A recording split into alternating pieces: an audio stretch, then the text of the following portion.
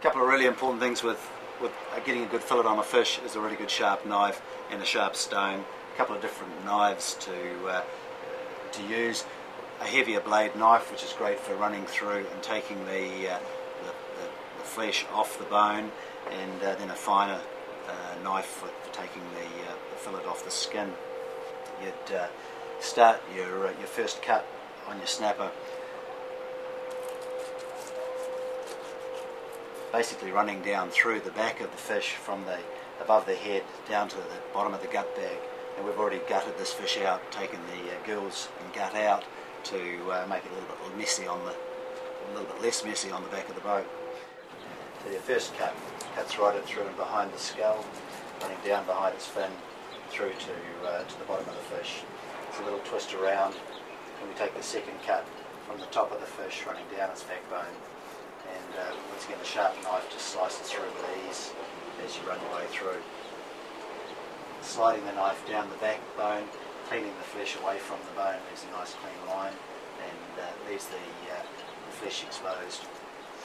Last cut comes through from the tail, running up the back of the fish back to the, uh, to the back of the, uh, the fish here. Run the knife through underneath, pressing hard down onto the backbone and just sliding it forward. You just take it straight through and then you're left with a nice clean fillet ready for uh, ready for boning out off the uh, off the uh, skin. Second knife is your, your finer blade knife is a bit easier for running through the fillet when you're cleaning it off and uh, a simple cut up through the back of the fish running down the centre line of the fish, which is where there's a bone line running down through the middle and sliding down the other side. So we're now left with, with a clean flesh. It's a simple case of a small little nick in the back end of the, the tail of the fish here, just to be able to hold it. Slide your knife pressing hard down at a, about a 60 degree angle to the bench. As you run the knife forward, it'll just, a good sharp knife that is, it'll just slide straight through the flesh and you're left with a clean